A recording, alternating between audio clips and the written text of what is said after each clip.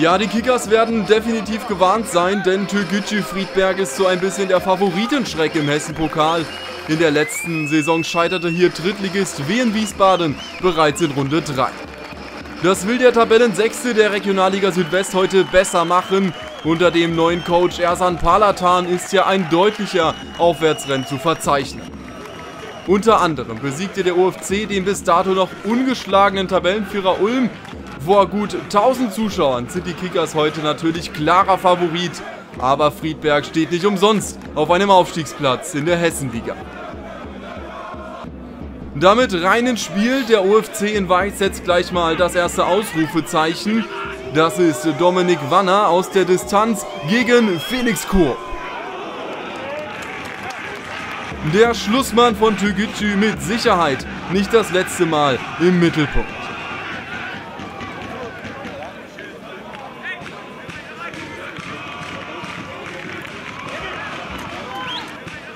Aber so ehrlich muss man sein, Friedberg versteckt sich hier nicht, sondern will selbst aktiv mitspielen. Und lauert immer wieder auf solche Umschaltmomente. Starker Ballgewinn und sofort geht es nach vorne. Michel im Duell mit Richter. Es gibt Strafstoß. Noah Michel fällt im 1 gegen 1 mit David Richter zu Boden. Schiedsrichter Markus Rolbetzky zeigt ohne zu zögern auf den Punkt. Für mich ist das allerdings zu wenig für einen Strafstoß.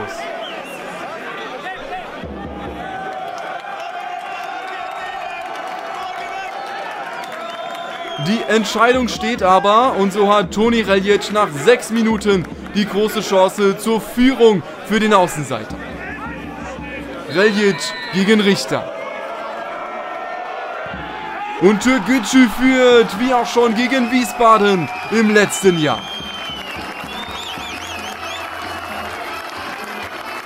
Toni Reljic bleibt vom Punkt ganz cool. Der in der Jugend bei Mainz 05 ausgebildete Mittelfeldmann mit dem 1 zu 0.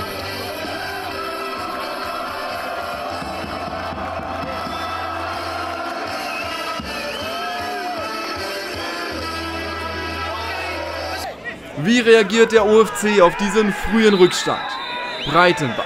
Björn Jopek kommt da zu Fall. Es gibt Freistoß für die Kickers. Und da hat der Regionalligist ja einige Experten, unter anderem Semir Saric.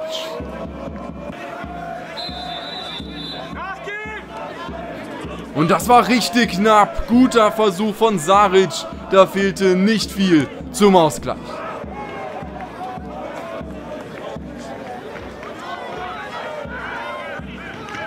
Die Gäste erhöhen jetzt immer mehr den Druck.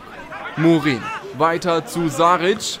Der kann nicht nur Standards treten, sondern ist auch richtig stark im 1 gegen 1. Saric, klasse durchgesetzt. In der Mitte wartet Hosina. Und Achtung, das gibt es nicht. Ist das hier vielleicht der Fehlschuss des Jahres? Philipp Hosina, das kann er selbst nicht glauben, dass er den aus drei Metern nicht gemacht hat. Ersan Palatan. Da muss auch der Coach erstmal einen tiefen Schluck aus der Flasche nehmen. Aber seine Mannschaft ist jetzt drauf und dran, den Ausgleich zu erzielen. Der nächste Freistoß. Zitzelsberger auf Breitenbach. Und jetzt ist es passiert.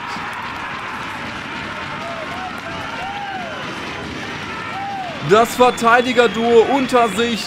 Jason Breitenbach steht im entscheidenden Moment goldrichtig.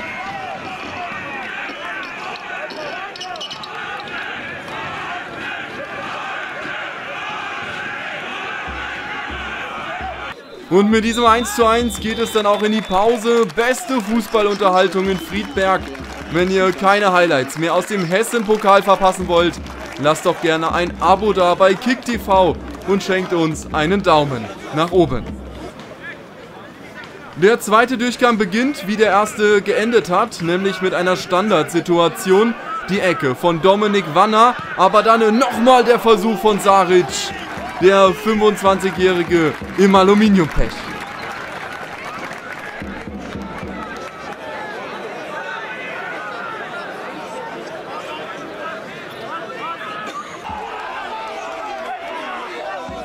Türgücü lauert währenddessen weiter auf Umschaltmomente. Michel macht da den Ball fest. In der Mitte läuft Reljic mit und er sieht den startenden Eray Ehren die Riesenchance auf das 2 zu 1. Solche Szenen zeigen mit Friedberges offensiv immer zu rechnen.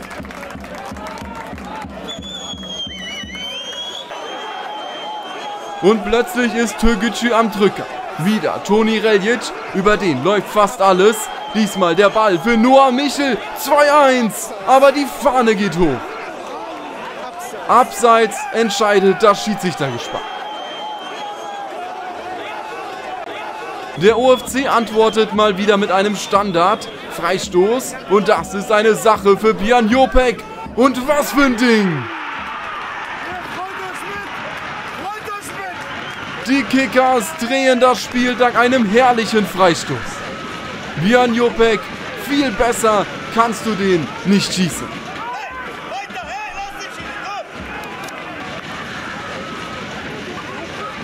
Von da an ist der Widerstand von Türgücü etwas gebrochen. 77. Minute, klasse durchgesetzt vom eingewechselten Jakob Lemmer und in der Mitte Dominik Wanner 3-1. Das Spiel ist durch. Dank einer richtig starken Einzelaktion von Jakob Lemmer entscheidet der OFC dieses Achtelfinale für sich.